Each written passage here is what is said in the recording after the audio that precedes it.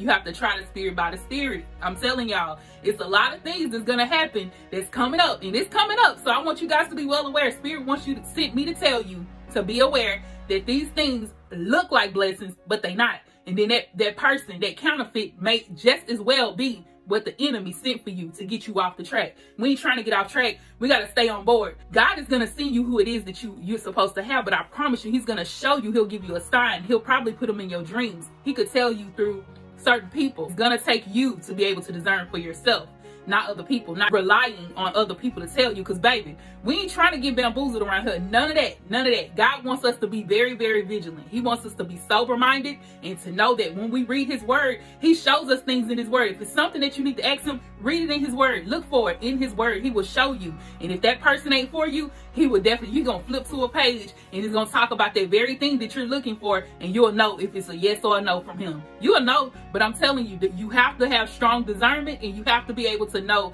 the signs from God through his spirit. Try the spirit by the spirit.